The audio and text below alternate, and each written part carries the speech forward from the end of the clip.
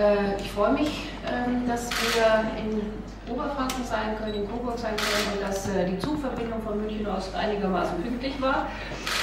Ähm, Ulrike Gode hat davon gesprochen, die Grünen äh, wachsen.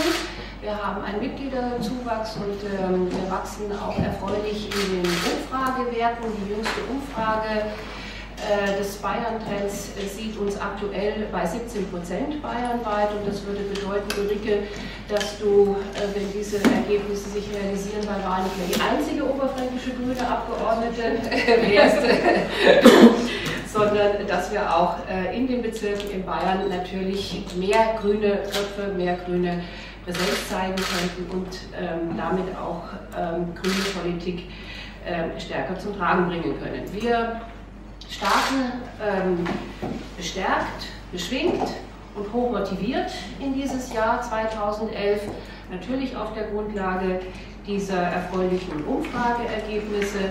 Das heißt für uns, dass wir immer mehr Unterstützung finden für unsere Politik in immer breiteren Kreisen in der Bevölkerung dass unsere Themen mittlerweile äh, in vielen Bereichen Mehrheitsthemen geworden sind, dass wir es in vielen Jahren grüner kontinuierlicher, glaubwürdiger Arbeit geschafft haben, aus Minderheitenthemen Mehrheitsthemen zu machen, was die Energiepolitik angeht, was den Klimaschutz angeht, was die Bildungspolitik angeht, was die Integrationspolitik angeht. Alles Themen, die früher mal sogenannte Minderheitenthemen waren, die heute in der Mitte der Gesellschaft angekommen sind und wo wir den Trend gesetzt haben und wo wir heute im Mainstream sind.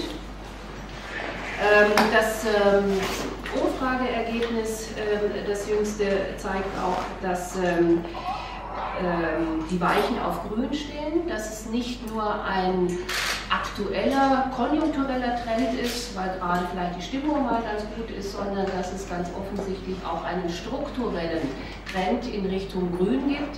Denn wir sehen, dass wir bei den Jung- und Erstwählern äh, nahezu die stärkste äh, Unterstützung haben mit 27 Prozent. Da sind wir nur knapp hinter der CSU, die hier 31 Prozent hat und wir sind dann die zweitstärkste Kraft. Da sehen wir, ähm, dass ähm, wir die Jugend haben, die jungen Leute haben, das Vertrauen der jungen Leute haben ähm, und dass das eben auch ein Trend ist, der sich in Zukunft fortsetzen kann. Wir sehen auch, was ähm, Anstellungsänderungen angeht, Wertewandel angeht, gerade durch die Wirtschaftskrise merken wir, ähm, dass viele Menschen nachdenklicher geworden sind, was äh, wirtschaftliche Entwicklung angeht. Und auch hier sehen wir, dass wir Grüne punkten können mit unserem Konzept von nachhaltigen Wirtschaften und Verbindung von Ökologie und Ökonomie. Also wir sehen durchaus sozusagen eine strukturelle Entwicklung unserer Gesellschaft auch in Bayern hin äh, in Richtung Grün, in Richtung grüne Themen.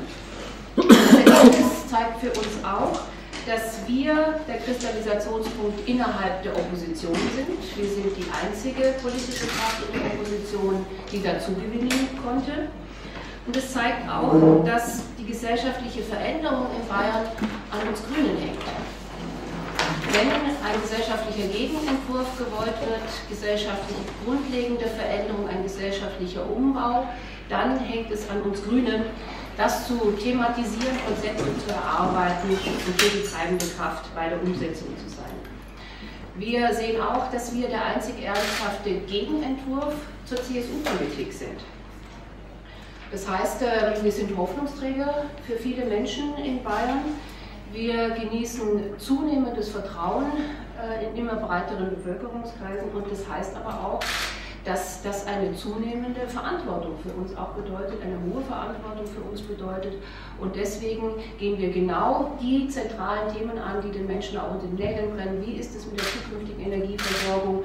Wie gestalten wir die demografische Entwicklung, äh, um diesem hohen Vertrauen äh, dieser hohen Verantwortung auch gerecht zu werden?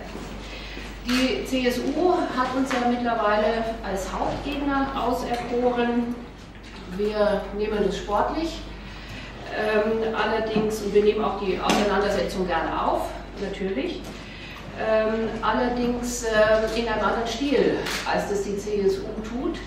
Wir werden in der Auseinandersetzung nicht persönlich beleidigen und wir werden in dieser Auseinandersetzung auch keine Dreck schleudern, wie die CSU meint, das tun zu müssen. Das unterscheidet uns von der CSU und das zeigt auch die Panik bei der CSU, dass ganz offensichtlich die Grünen es sind, die ihnen am meisten zu schaffen machen, gerade auch was ähm, die, das Erreichen äh, des sogenannten bürgerlichen Lagers angeht. Diese Lagertheorie stimmt ja schon längst nicht mehr. Die CSU hätte uns gerne sozusagen im ganz linken Lager. Auch das stimmt nicht mehr. Wir wissen, dass wir gerade in der Mitte der Bevölkerung immer mehr Menschen erreichen. Deswegen hat die CSU Panik und versucht uns ähm, auf die üble und äh, niveaulose Art, geschmacklose Art und Weise anzugreifen. Ähm, aber wie gesagt, dieser Angriff schadet der CSU, der schadet nicht uns, der nutzt uns. Die CSU hat sich damit ein Eigentor geschossen.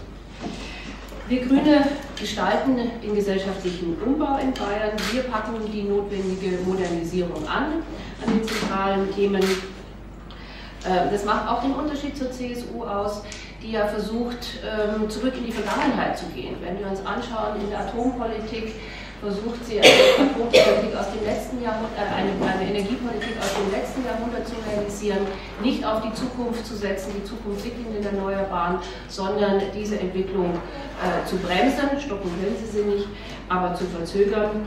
Oder aber, wenn wir uns äh, die Integrationsdebatte, Zuwanderungsdebatten bei der CSU anschauen, auch da versucht sie zurück in die Vergangenheit äh, zu gehen, schlägt die alten Schlachten wieder ähm, und ist offenbar nicht in der Lage, das, die Zukunft, äh, die zukünftigen Entwicklungen in Bayern zu gestalten. In der Wirtschaftspolitik haben wir das Motto, mit grünen Ideen schwarze Zahlen schreiben. Und insgesamt in unserer Politik können wir sagen, wir haben die Überschrift, mit grünen Ideen wollen wir auch schwarze Wähler erreichen.